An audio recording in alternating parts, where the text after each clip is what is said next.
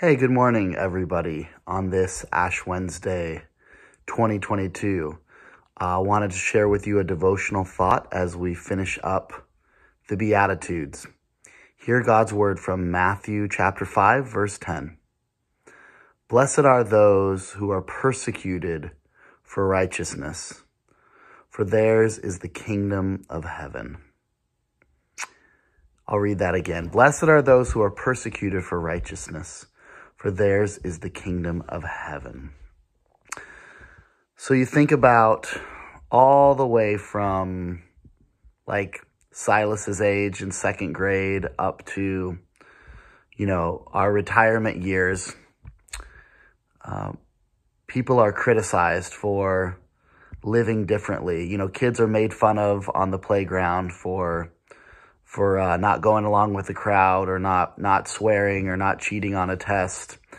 And all the way up through life and all the way to you know retirement years people might criticize you or might not understand why would you why would you spend your time volunteering? We only have so much time left. Or why would you give your money to the church or give your money to charity? I mean I mean, you, you know, you might run out or you might, you know, want to treat yourself.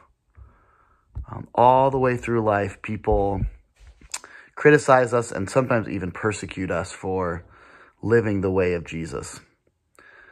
But the bottom line is that we are serving another kingdom and another king. That's what Jesus is getting across here. You know, when you're persecuted for righteousness' sake, you will eventually receive the kingdom of heaven. And he's not just talking about heaven after we die, but he's talking about the way of Jesus, the way of eternal and abundant life that begins right now and continues while we walk this earth all the way until uh, the new heavens and the new earth what a follower of Jesus is called to be, especially in this time and in this place, is a counterculture for the common good. Uh, you know, we're not opposed to our neighbors who don't know Jesus.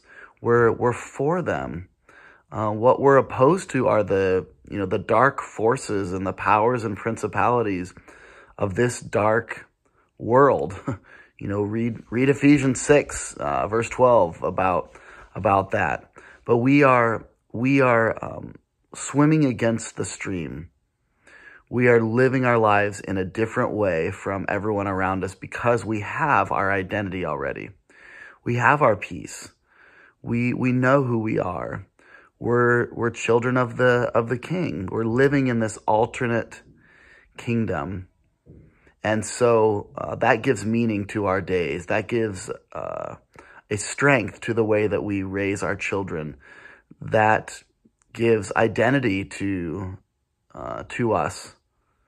That helps us to know how to spend our time and how to spend our money. If if you are living the exact same way as everyone else, then you have to stop and consider which kingdom you're serving. Because the, the kingdom of heaven that Jesus is talking about, it is radically different than the kingdom of this world, which is, which is fading away. Um, the kingdom of Jesus is, is forever. And Jesus, our King, laid down his throne um, so that we could so that we could be in a relationship with God so that we could we could come home and be in the true kingdom that we were created for. So my friends keep keep praying thy kingdom come. Keep turning from sin and turning toward Jesus. I remember a very memorable ash wednesday service when the when the pastor made the sign of the cross on my forehead and said turn from sin and turn toward Jesus keep trusting in the grace of Jesus for your life and his invitation to join you, to join us in, uh, in building his kingdom. Have a wonderful Ash Wednesday as we step into this new season of Lent. Please join us at 545 tonight at church for uh, pancake dinner and for worship together as we begin this season of Lent. And may God bless you.